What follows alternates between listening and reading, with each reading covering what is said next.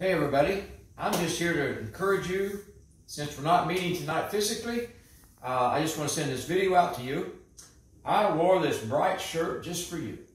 To let you know this is the day the Lord has made. We're going to rejoice and be glad in it. What an awesome, awesome time of history for you and I to experience the faithfulness of God, to experience His promises that are all yes and amen in Christ Jesus. And um, this Sunday, We'll be live streaming at 10 o'clock in the morning, and I'm going to go through Psalm 91, verse by verse. But I want to encourage you in this. Psalms 91 says this, that he delivers us from the noisome pestilence. Now that's King James. The word pestilence there is epidemic. The word noisome is raging. So he's going to deliver us from this raging epidemic. That's the promise of God. And so we have this promise as Christians now, the world, they don't have that promise. They don't understand that promise. So we as Christians have to show them kindness and love in the situation that they're in because, you know, the world, their world is falling apart right now.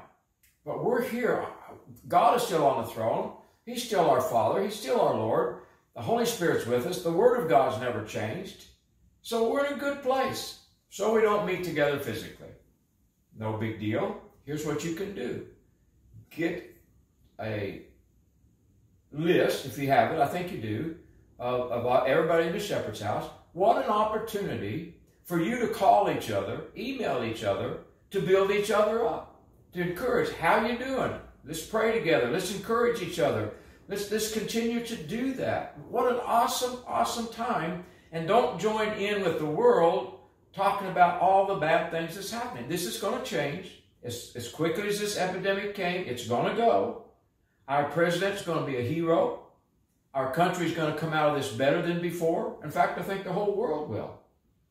And I want to encourage you in something. Dorothy and I canceled uh, a flight this Friday. We were going to Andrew Wommack's to a conference, which they canceled. And we called this precious lady, and she was changing the reservation for us. And you could tell she was just wore out. I mean, think about what they're going through. And Dorothy said to her, said, you know, we appreciate, we know you're working hard for us and we really appreciate it. And she said, thank you for your kind words. Listen, we need to be a, a voice of kind words to people out there.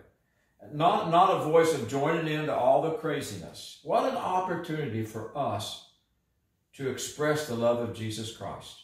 The reason we're not meeting is twofold. Number one, our civil authorities are placed there by God, according to the Word of God, and they have said that Denton County, you can't have more than 50 people. They have also said that they would like from 8 p.m. at night till 7 a.m., 6 a.m. in the morning to, to stay home. And so we're going to do that. That's why we're not gathering tonight or Sunday morning. We'll see what next Wednesday night brings. If we still can't gather, we will live stream next Wednesday night. I can tell you that. But I want you to be in uh, a place of love where we respect our authorities over us.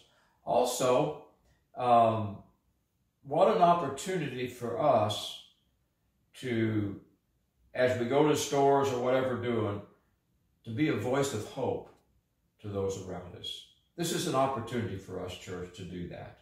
And to love our neighbors ourselves and to, to show the community that we do care for them and that we do support those in authority over us. We're not a rebellious people. And so I just want to encourage you today. Be strong, for the Lord thy God is with thee. Take advantage of this time. Movies are shut down, all sports, all that stuff. Don't just replace it with more stuff. You can do it through media. Maybe this is an opportunity for you to spend more time with the Lord. Study the Word a little more. Maybe this is your opportunity to not be so busy. Anyway, Dorothy and I, we love you. Uh, we're in a great time.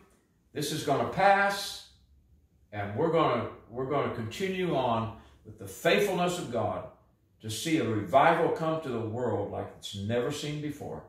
So be blessed, be encouraged, and uh, I'm going to live stream Sunday morning at 10 o'clock. All right. Be a blessing to somebody today.